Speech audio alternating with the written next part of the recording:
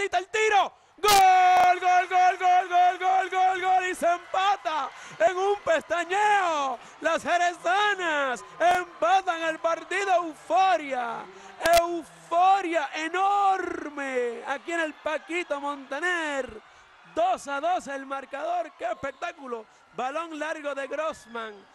Eh, Claudia Antunes, que ha sido el revulsivo. Ha sido la que cambia el partido con un remate seco que dejó frisada a la portera y a la defensa de Calley. 2 a 2 el partido. Esto es